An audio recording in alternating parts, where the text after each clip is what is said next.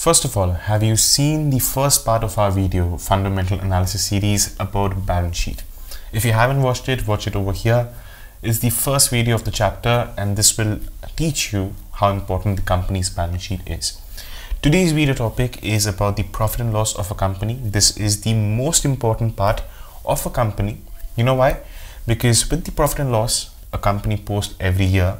With the sales and profit, we do the valuation of a company. Hence, profit and loss is the most important part of the entire fundamental analysis series. So this video will mark your understanding of fundamental analysis going forward. So you watch it very carefully, understand what profit and loss statement is. It is a small video because we do not have much to talk about in this one, but you will understand how important profit and loss or sales and interest plays in a company's role let's get started. Now we'll cover three major topics in this video. The first one is how to read the PL statement of a company. Second one is we look at examples of the Indian stocks of good companies and bad companies so that you understand how does the profit and sales affect the company's share price and finally we'll answer a few questions that we had from the series 1.0. Now before we start off the video there are a few things that you need to know about the profit and loss statement. The first one, which I tell all my viewers and investors, is never invest in a loss making company. We'll get to it as we move forward in the video, but this is what you need to understand. Second, profit and loss gives us a growth outlook of a company for the future. So this plays a very big role, tells us about the future of the company based on historical profit and sales number. Third, most valuations of stocks, like I said, is based on the profit and loss statement, and this is the most important factor for a company. Some companies may be loss making, but based on sales, we can also analyze the valuation of the company. So, profit and loss both play a big role along with sales of the company. We'll understand that in a minute. So, let's understand what is the profit and loss statement of a company. Now, when we talk about profit and loss statement, this is one statement a company posts once every year. This shows what is the company's current situation with the terms of profit and sales, the two biggest factor of any company. How much the company is making every year, what is the revenue, what is the company's profit after paying off expenses is what the profit and loss statement says. Now, in a good company, it is quite obvious that you want the company's sales to grow every year. Similarly, for the profits, you want the profits of the company to grow every year. And that would mean that the company is on track and doing well for its future. If a company is posting good profits and sales every year continuously at a certain growth rate, the company's share price will reflect that. But still, there are certain companies, if I talk about Tesla, which is one of the biggest companies it just turned profitable this year. उससे previously it had only losses. So how do you find and value a company which is making loss? Because the concept of startup is very recent where companies are making losses every year but their sales are very strong. So there is a way of valuating a company based on sales. Hence sales play a very big role in today's time along with profits. Companies like Ashok Leyland, Tata Motors, I'll show you the profit and loss statement right now. These companies' profit and loss statement isn't that attractive.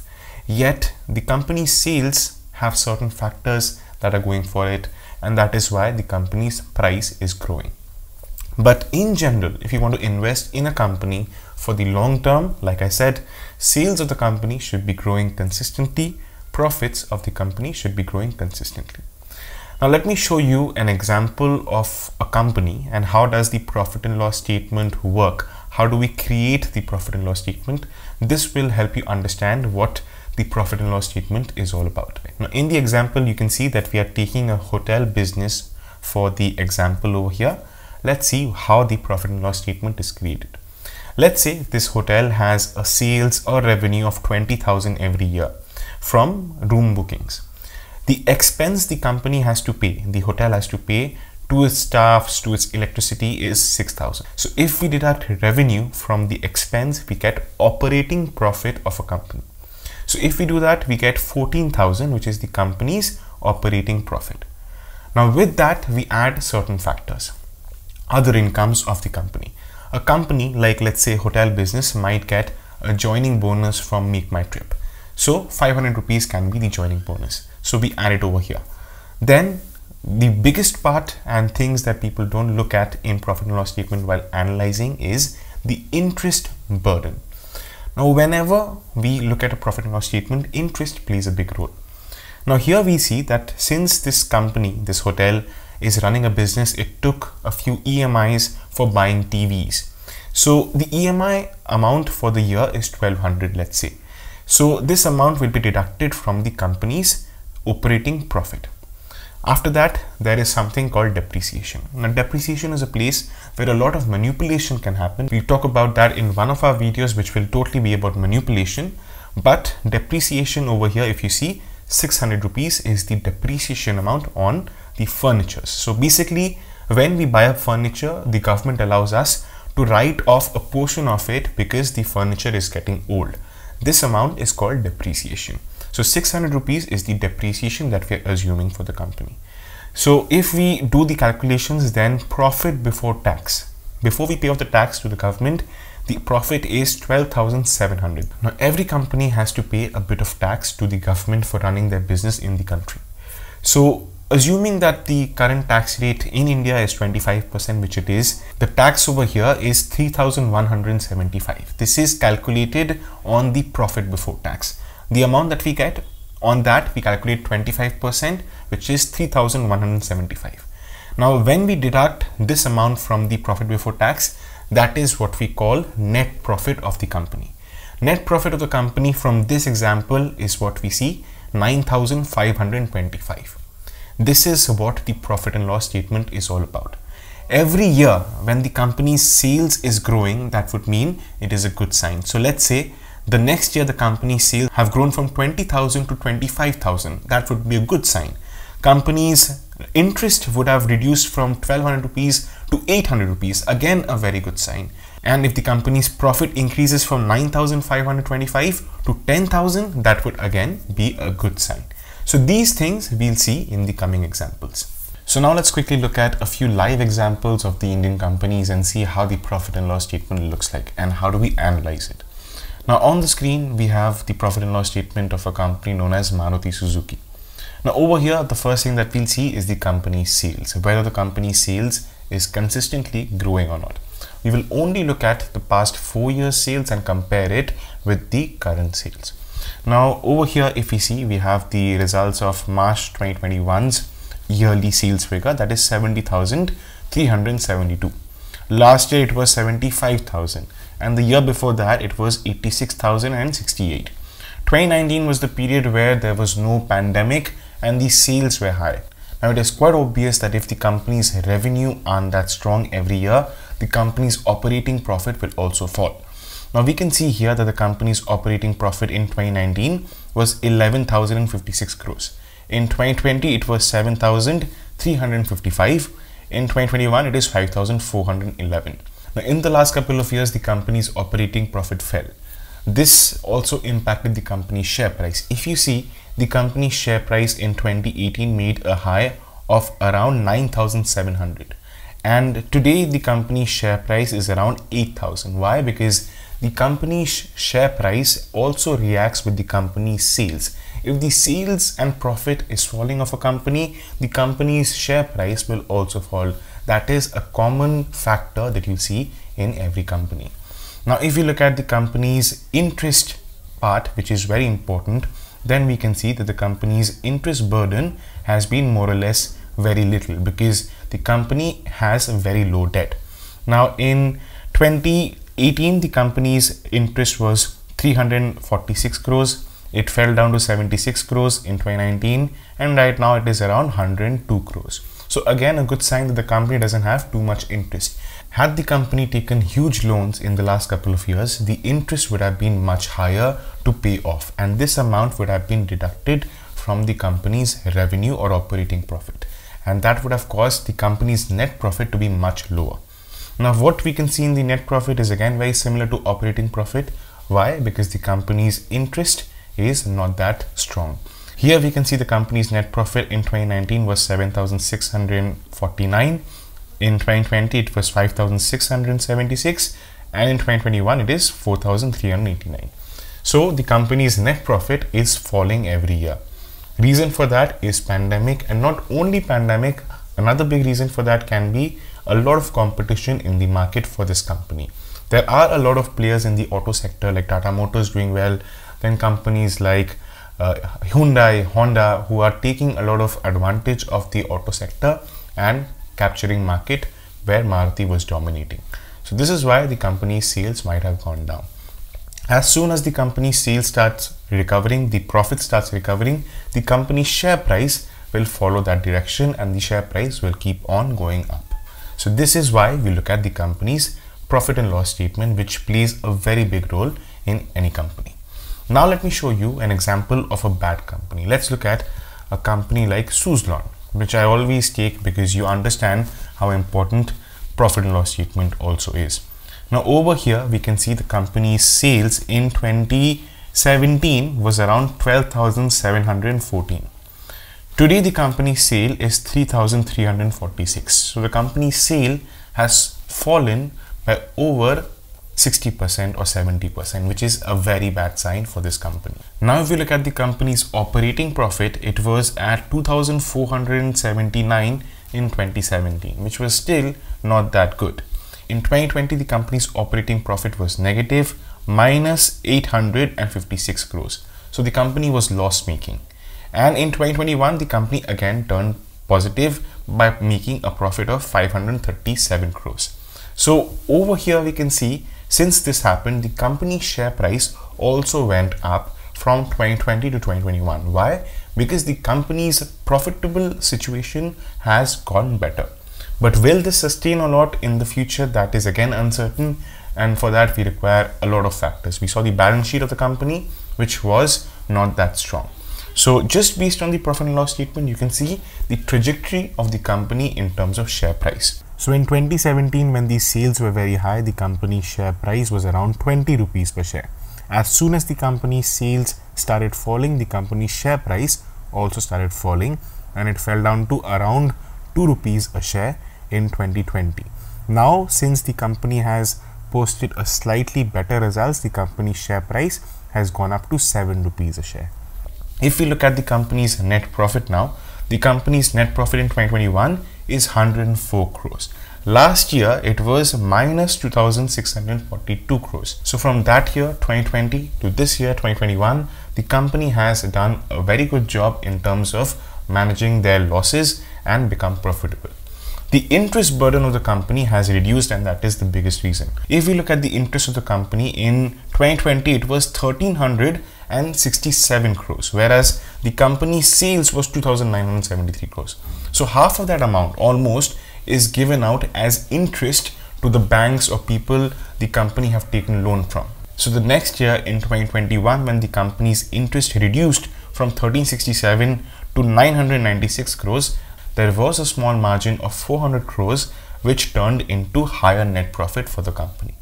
So interest plays a very big role when you look at a company and that is why in the balance sheet chapter that we covered in the last video we said how important debt of a company is. The more the interest, the less will the company's net profit be. Now the good thing about using Screener or any website is that you get a lot of ratios calculated to you which are important to see in a stock. The first one that you can see on the left side is compounded sales growth. So in the last 10 years, the company's sales growth compounded was negative 16%. So that is not a good sign. In the last five years, it was minus 19%. Last three years, it was minus 26%. So if you see all these rates, it is negative. That is not a good sign for long-term investment. Only for short-term investments can you invest in companies where the last five years or the last three years compounded growth is negative. For long-term investment, you always have to invest in companies where the growth rate in these aspects, three years or five years, is positive. So now let's look at a company which has positive compounded sales and profit growth. Now we are taking the example of Reliance Industries over here. Here you'll see in the last 10 years, the company's sales growth was 6% and the compounded profit growth in the last 10 years was 9%. So the India's inflation rate is around 4 to 5% on the last 10 years average. So this company has given more return in terms of sales growth and profit growth in these aspects. So it is obvious that the company's share price will also reflect that. So in the last 10 years, the company's share price cumulative way has grown over 20%. So this is a very positive sign. So it's obvious when you see a company's sales growing, net profit growing at a consistent rate, the company's share price will also grow very strong. You can see all the data in screener.in's website where everything is listed. Okay, so now I'll give you a homework. The homework is very simple. Go to screener.in website and search the stock that you want to analyze. See what the stock's profit and loss statement tells you, whether the company is good, bad, or average, and send me a screenshot of that in my WhatsApp number, which is mentioned over here. One of our team members will answer you that. If you have any doubts regarding what you analyzed, we will help you figure out whether that is correct or not. And you can comment in the description also if you feel like it, where I can answer the questions that you have. Now, before we go to our next slide, let me quickly take one minute of your time and explain what products can you find on our website. The first one is the fundamental analysis Excel sheet, which has 10 different analysis models along with 8 custom situations, which will automatically calculate a company's fundamentals, whether the company is suitable for investment or not with a score, along with three different target prices. Now this model is for those who are starting off with fundamental analysis. You should definitely try it. It is only for 389 and you can download it unlimited times once you buy the package from our website. The second package is the stock valuation Excel sheet. This is a premium Excel sheet. A lot of investors use this and they get the most accurate target price using this one because this has eight valuation models used by top brokerage companies all over the world. These have an accurate way of calculating the fair value of a company and with this every quarter you get a target price of a company. And not only that, you get a Telegram community along with this where we discuss stock market valuations, stocks recommendations which are supposed to do well in the next quarter, future and option strategies, stock market recommendation and other things that we discuss in the community. All of this is for lifetime. And finally, don't forget to check out our seminars on fundamental analysis, technical analysis, and future and options. Here we have a course where you can learn directly from me in a video conference in a trading platform where we do an interaction. It is a three to four days learning course where we teach you how to do individual topics correctly.